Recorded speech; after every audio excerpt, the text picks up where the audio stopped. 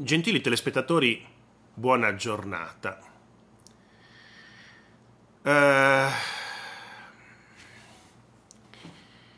il presidente del Senato, Ignazio La Russa, ha fatto entrare nel 2018 le telecamere a casa sua.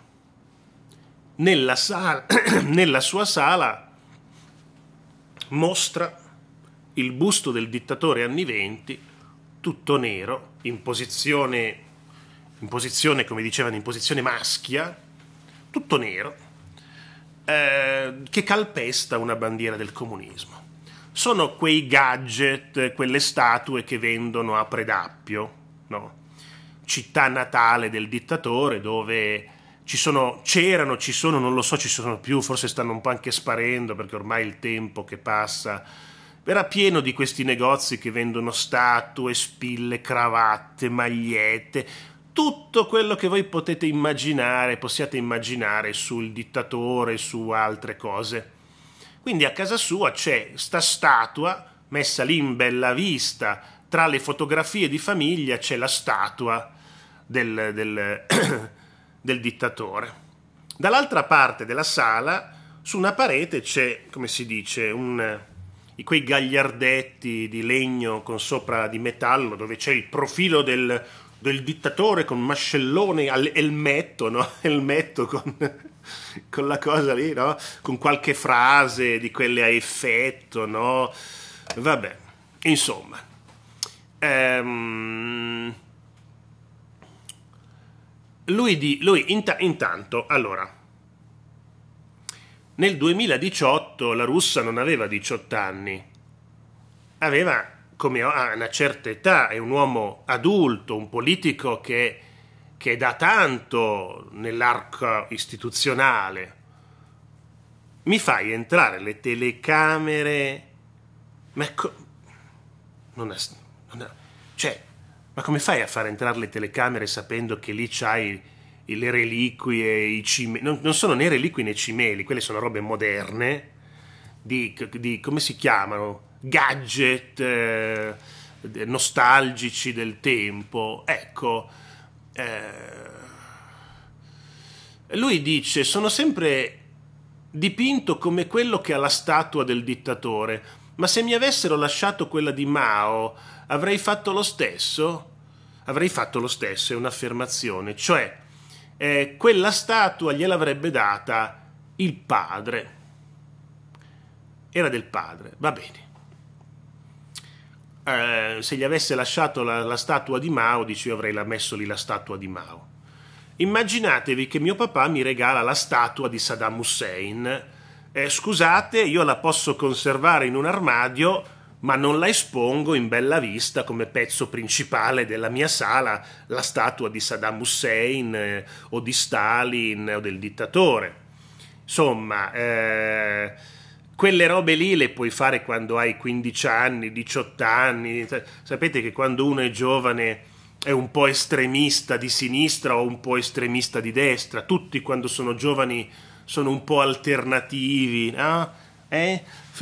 Quando uno è giovane, giovane, eh, ancora non ha capito la gravità delle cose, ancora non ha capito bene eh, cosa è successo nel mondo, nella storia, ancora non riesce bene a inquadrare i fatti, che cos'è la vita, eh, che andrà a lavorare, ancora eh, uno quando ha 18 anni vive ancora nella bambagia, no? ah, e allora prende come miti prende come miti dei riferimenti di persone che reputa forti. Di solito quando uno prende come riferimento dei dittatori che, o di, di, destra o di sinistra è di solito perché ha avuto eh, nella vita la mancanza di figure paterne, di figure forti, allora va a ricercare, eh, va a ricercare in questi personaggi del passato qualcuno che, ecco, questa è la psicologia basica, eh? questo ve lo, può dire, ve lo può dire qualunque psicologo. Però un uomo adulto, adulto, politico, che fa entrare le telecamere eh, questa è la statua, l'ha regalata mio papà. I giornalisti non aspettavano altro, non aspettavano altro. E lui dice, la russa, scusatemi se parlo di me, sono sempre dipinto come quello che ha i busti. È vero, ce l'ho, me l'ha lasciato mio padre, non capisco perché dovrei buttarlo. La russa, nessuno ha detto di buttare una statua che ti ha regalato tuo papà. Il problema è che la metti in bella vista nella tua sala e fai entrare pure le telecamere. Non la butterò mai. La russa nessuno ti ha detto di buttarla. Così come non butterei il busto di Mao se mi avessero lasciato un'opera d'arte sua. Beh, insomma, quel busto lì non è propriamente un'opera d'arte, è una roba di... sarà un gadget magari non moderno, ma è un gadget, credo, degli anni 50-60.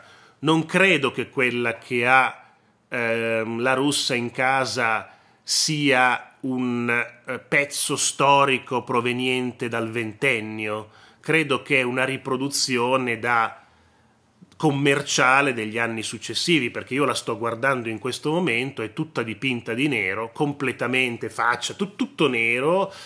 Ehm, non credo che ai tempi del dittatore avessero fatto una statua tutta dipinta di nero.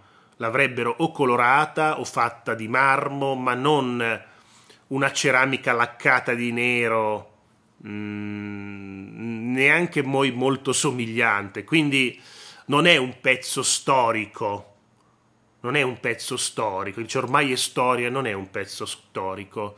E poi dice scusatemi ancora per questa parentesi personale che volevo assolutamente esternare. Quindi è lui che a Palazzo Giustiniani per il ricordo di Pinuccio Tatarella tira fuori la storia dei busti. Ormai tutti in televisione, ogni volta che si parla di Fratelli d'Italia, tirano fuori quello che ha a casa i busti. Ovviamente è un'immagine emblematica, emblematica, perché eh, partito conservatore che non vuole avere niente a che fare con l'ideologia di un regime, due cose completamente differenti e poi si trova la russa con la statua, quell'altro a Milano che fa i saluti romani, il fratello di questo che fa i saluti romani e poi si trova quell'altro con la maglietta col nome di una band eh, di estremissima destra che inneggiava la liberazione di un, di un, di un criminale di guerra tedesco. Ecco, um, diciamo che eh, quelli che sono lì, la Meloni dice questo è un partito conservatore che non ha niente a che fare con quelle cose lì, però quelli che sono al suo interno hanno a che fare con quelle cose lì, sono dei veri e propri nostalgici che eh, a me non fanno né caldo né freddo perché sinceramente sono le persone più innocue sono le persone più innocue del mondo, questi nostalgici, perché non fanno male a nessuno, loro nella loro mente hanno il dittatore, saluto a quello, insomma è una sorta di infantilismo che è rimasto anche quando sono grandi, però dopo una certa età continuare con questa roba io la lascerei ai quindicenni se proprio vogliamo lasciarla, ma a 50, 60 anni, 70 anni ancora con queste robe, insomma, è anacronistico, anche perché ormai sono cose in bianco e nero del passato, di un passato che ormai diventa veramente remoto. Basta parlare di ste robe. Io direi a questi esponenti che fanno saluti romani, che hanno le statue, che si mettono le magliette delle band eh, di ultradestra. L'ho visto ieri, la foto di Del Mastro con una maglietta con il nome di una band di eh, estrema destra tedesca che inneggia a Pribke, che inneggia a Pribke, liberate, salviamo il capitano, ma, ma di quelle... E, e questo qua, c'è una foto su internet, cercate del mastro maglietta, cercate del mastro maglietta e vi viene fuori la foto mentre lui sta ehm, accarezzando un Rottweiler che ha pancia all'aria e lui con la maglietta di una band che, inneggia, che inneggiava la liberazione di Eric Pripke, uno dei quello che quel criminale delle fosse ardeatine. Non so io. Eh? Eh? No, non ci sono nostalgici, ma stiamo scherzando, ma neanche a pensarlo. Peggio. Arrivederci a tutti.